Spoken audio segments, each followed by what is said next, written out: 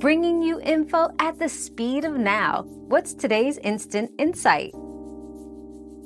To force tomatoes to turn red, store them in a warm place but not in direct sunlight.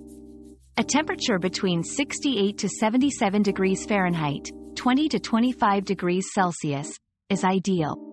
Additionally, placing them in a paper bag with a banana or apple can speed up the ripening process. These fruits emit ethylene gas, a natural ripening agent, that encourages tomatoes to turn red more quickly. Remember, the key is a warm environment and ethylene gas exposure. We've quenched today's curiosity, but there's always more to learn. Keep the curiosity alive by subscribing and joining us for our next adventure.